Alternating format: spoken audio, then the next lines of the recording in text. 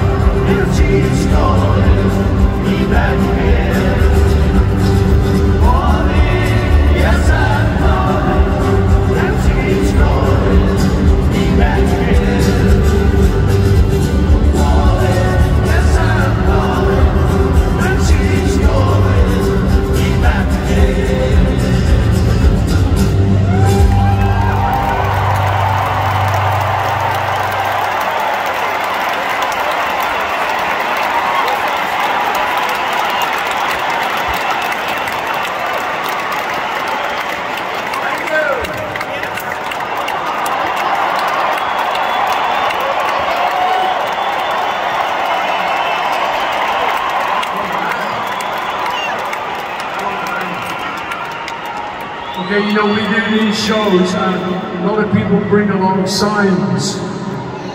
And uh, it's really great, you know. We love, we love the signs. But um, what happens is you try to remember your chords and your words and the melody. And a voice inside your head says, don't read the signs.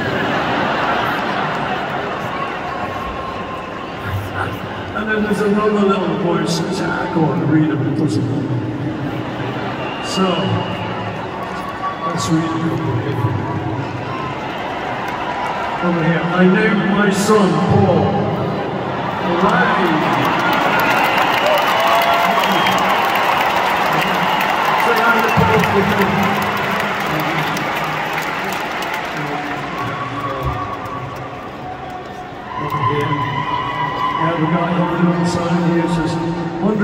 127 times. This guy's been to our show 127 times.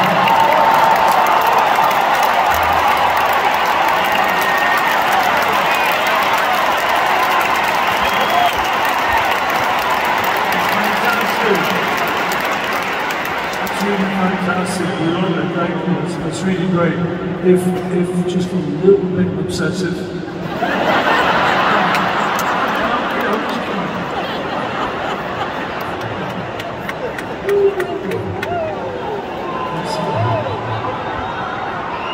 That's what it says.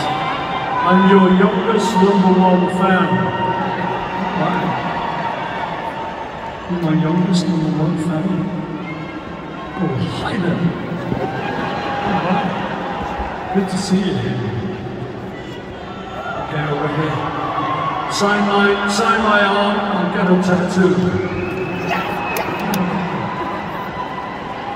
What over here? Sign my butt.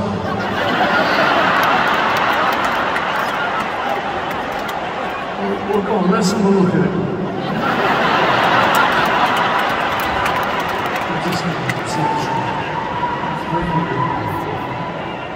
thank you, signs, for listening. if I get if I get it all wrong, I'm gonna blame you. Said, well, almost got it right, but the signs pretty good. No, seriously, thank you.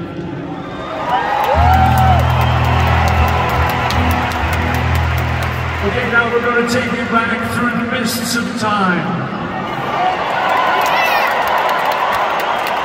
We're going to, uh, going to a port in the north of England, a port called Liverpool.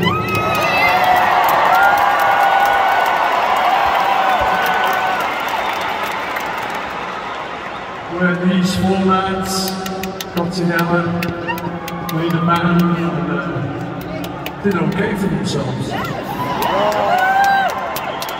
And you know, in the beginning, when we first started out in Liverpool, we were just a gigging band. And yeah, we, it wasn't easy to get work. So we, we worked it out that if we had a demo record, and we might be able to play that to people, we might get a few gigs. So uh, we found a little recording studio, and we found out that it was five pounds to make a demo. Uh, and there was five of us in the group at the time. There was me, John, George, Colin on drums, and Duff on piano. And uh, so we each made a pound, and we made the record. And then the arrangement was we'd keep it for a week each. So I kept it for a week, gave it to John, he kept it for a week, gave it to George, gave it to kept it for a week, and then he gave it to Colin, Colin gave it to Duff, and he kept it for 20 years.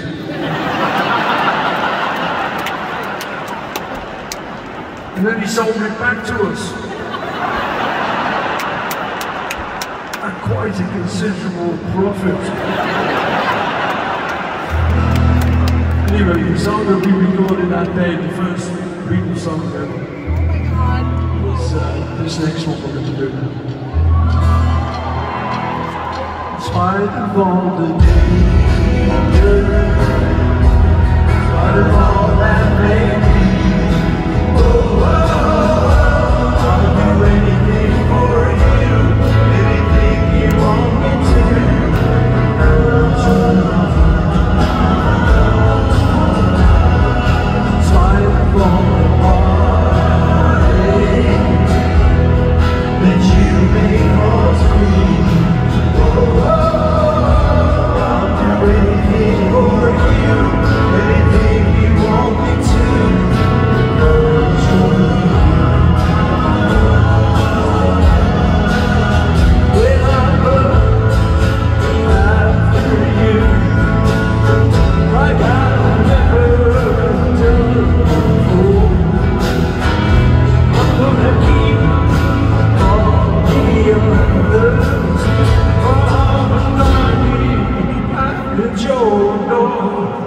find from him.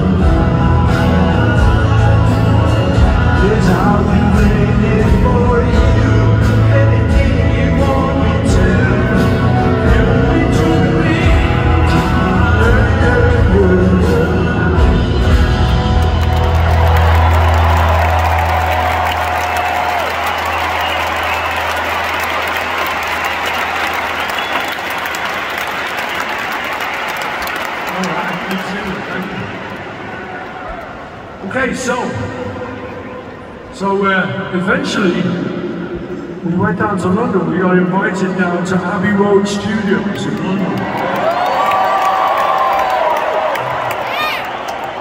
And we were making records with George Martin, great producer. Let's hear it for George.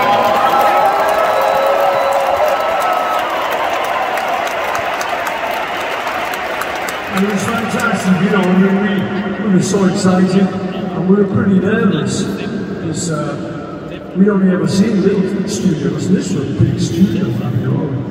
And uh, anyway, we were we were gonna sing this song, Love Me Do, for George. And we did it, and uh, John, uh, John used to take the, the lead vocal, and he used to do Love Me love me do.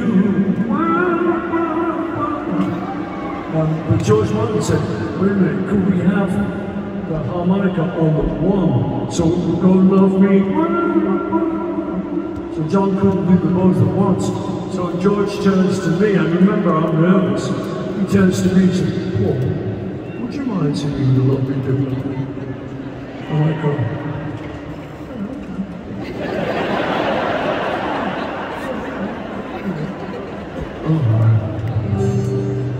To this day, if I hear the record on the radio I can still hear the tremor in my voice.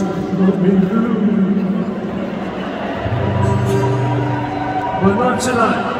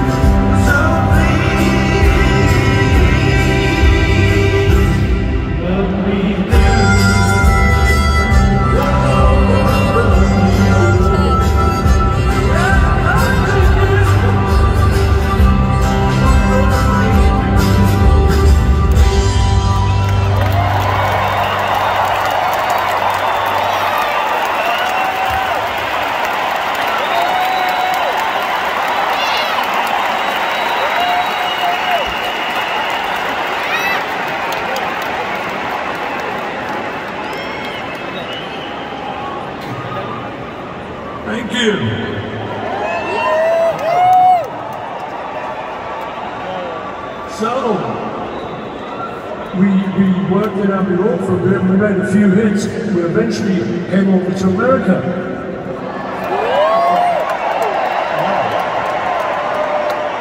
And then things started to change. Because like, yeah, the girls were really screaming. Come on girls, let's have a beating scream.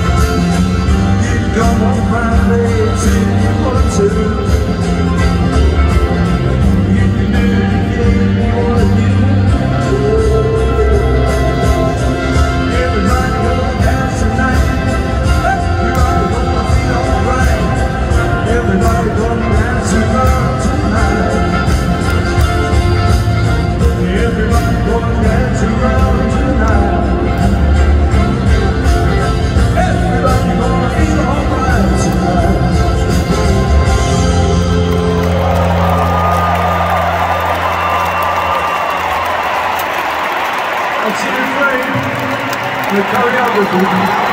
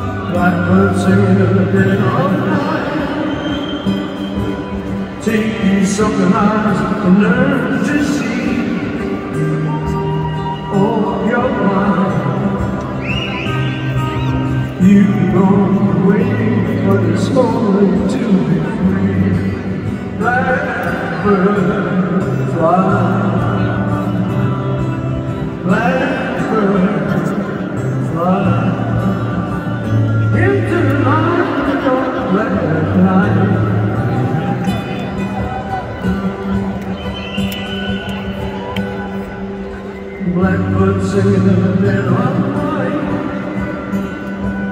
Take these broken wings and learn to fly. All your life, you've long waiting for this moment to rise. Blackbird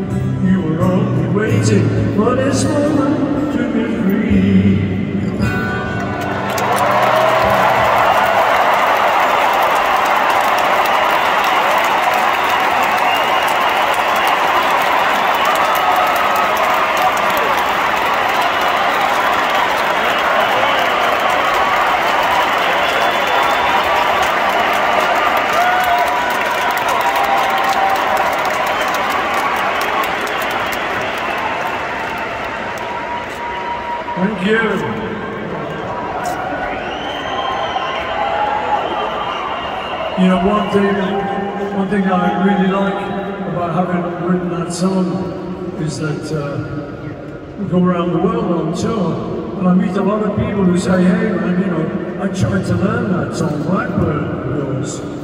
How many people here tried to learn Blackbird?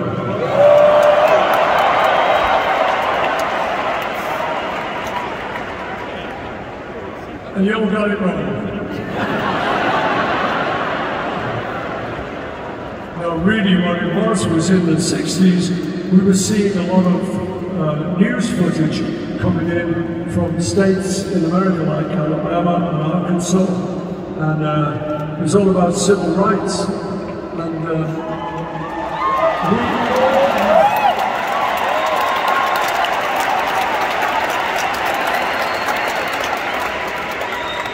And we didn't quite understand, you know, we, we never heard of anything like that, you see the two, uh, two young black girls going into the school uh, at the end of segregation. And uh, we couldn't believe it. Because, you know, to us, growing up, America was the land of the free. And it still is. Anyway, so I wanted to try and write a song that if uh, the people going through those struggles never heard, it, it might just give them a little bit of hope.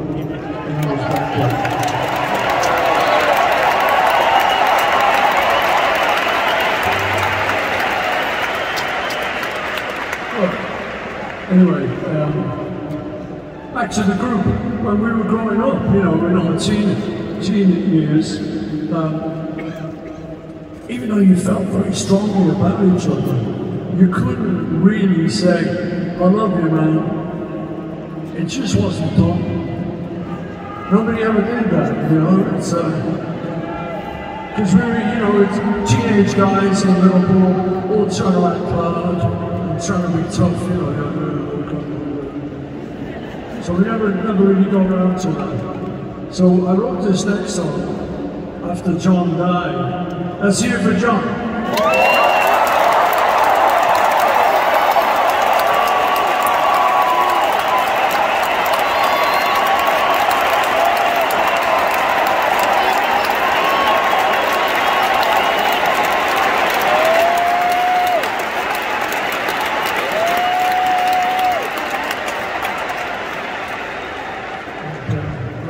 to try and write a song and to put into words what I never to say to you. So this next song is like in the form of a letter to John.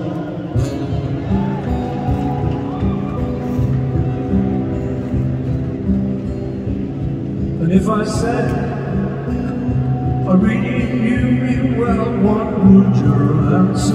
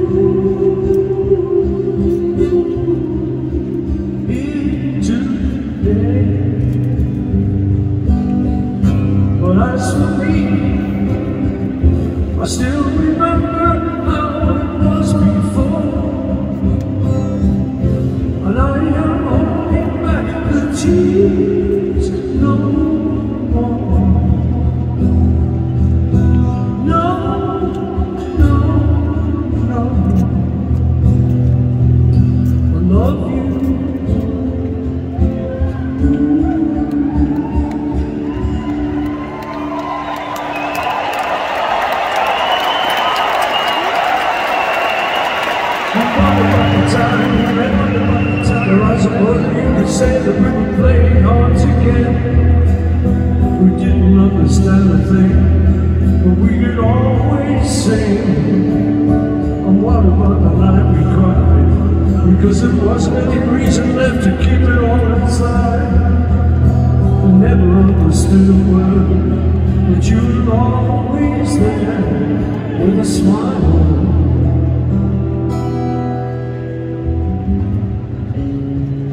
If I say I really loved you and was glad you came along That you were here today. For you were in my song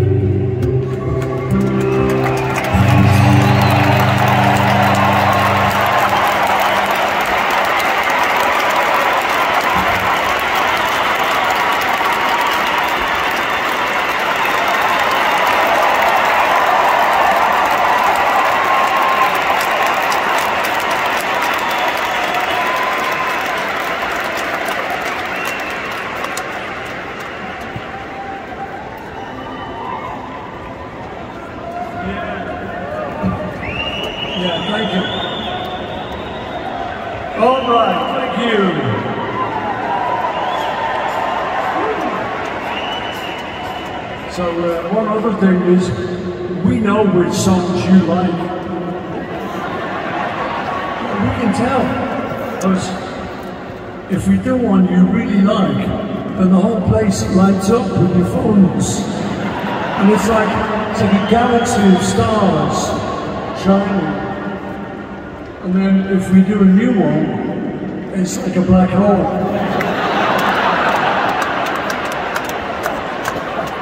But we don't care. We're going to do them anyway.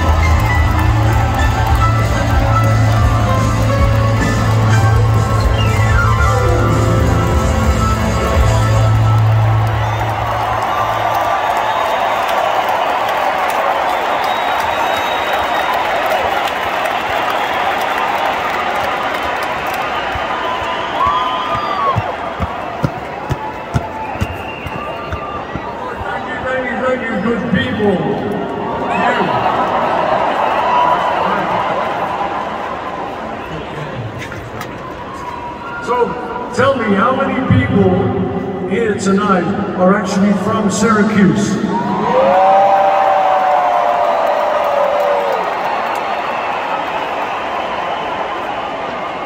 And then how many people are not from Syracuse but from somewhere close by?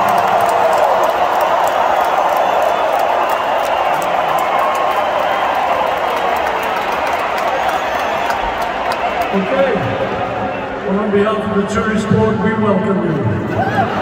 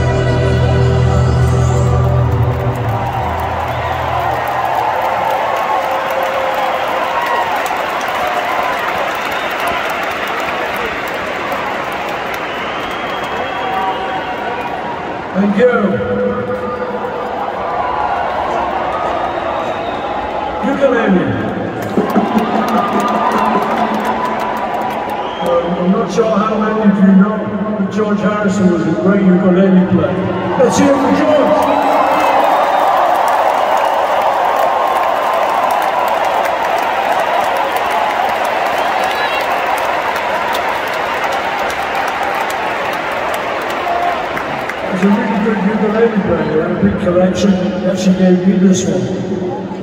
Gibson. Anyway, I was round at his house one afternoon and we were just jamming, playing little things on the ukulele. And I said to him, I've learned one of your songs on the uke. And so we played it together that day. And we'd like to play it for you now.